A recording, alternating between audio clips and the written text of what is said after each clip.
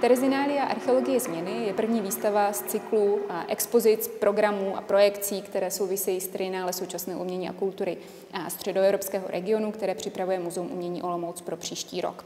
Bratři Květoňové, kteří jsou členy Anderesajte studia, mapují konkrétní prostor, a to Terezín, který před několika lety zaplavila velká povodeň a při té příležitosti vyplavila celou řadu sedimentů, které vlastně to město ukládalo ve svých zdech, prostorách, zahradách a tak dál. A právě toto je základem této expozice, která zahrnuje jak fotografickou produkci, protože bratři Kvetoňové jsou absolventy Pražské FAMu, tak potom také celou řadu objektů a videí, která s těmi objekty souvisí. Jedná se tedy o určitý typ archeologie, která vlastně neustále pracuje s pozůstatky lidské kultury, která se proměňuje a vyvíjí.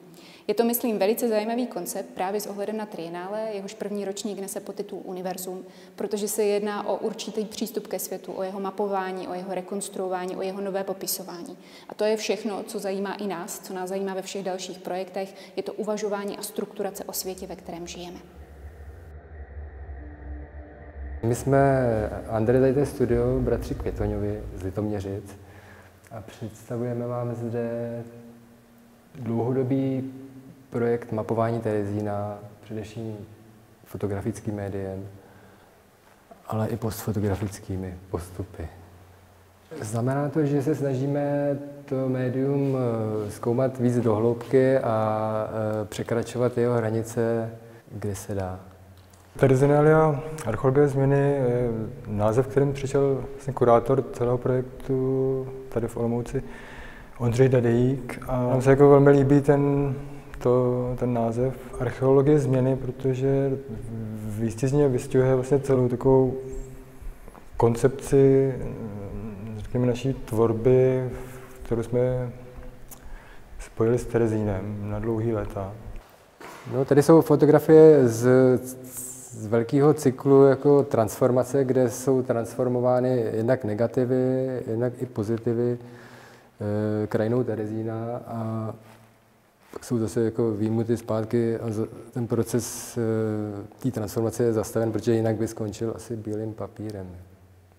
Několik let jsme vlastně sbírali, dá se říct, pro někoho odpadky a transformovali jsme je v artefakty.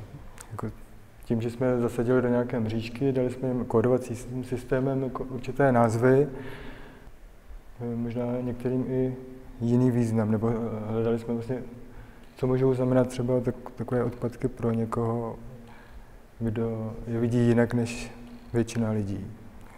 Jo, takže každá ta fotografie má jako eh, určitý kód, který eh, popisuje ten předmět jako jeho vlastnosti. Jo, takže je to takový jako pseudovědecký přístup. Je jich teda 864, jsme jich nazbírali. Jo, to velké video, co, co můžete vidět tamhle na pozadí, potom galerie, tak eh, to je vlastně složené ze všech těchto objektů, které se prolínají. A hudbu nám k tomu vytvořili do šaška.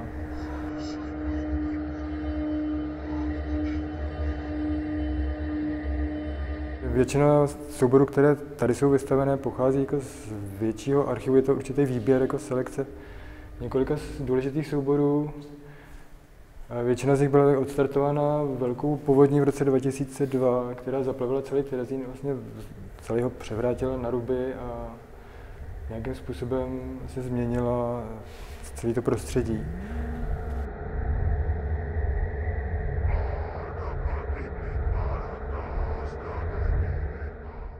Krom bratří Květoňových se na výstavě podílí také její kurátor, a to je Ondřej Dadejík, pražský estetik, který se věnuje především problému estetiky každodennosti a potom a přírody.